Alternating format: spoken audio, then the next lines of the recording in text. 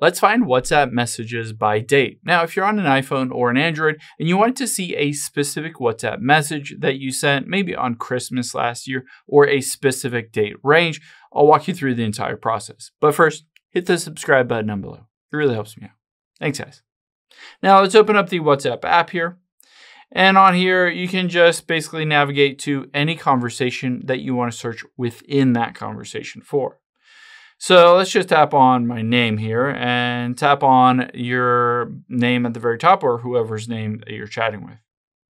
Now on here, I'll be able to search for a specific uh, date by tapping search. And now it brings up the ability to enter in something, but you can see at the top right of the keyboard next to P, it has a little calendar icon. I can tap on it and it allows me to go back in time. So I could go back a year ago in September of 2023 and hit jump to date.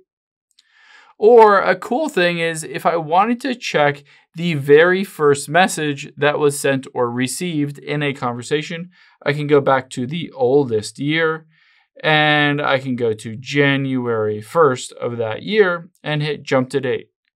Now, what you will see is it automatically brings me to the earliest message that was sent and the earliest date, September 7th, 2022 is when it was started.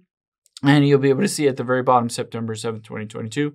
And then you can quickly just jump to different years or anything like that. Just hit jump to date and it will quickly scroll you through without having you swipe through all those messages to find a specific calendar date, maybe a holiday, a birthday, anything like that. You'll be able to see those directly on here.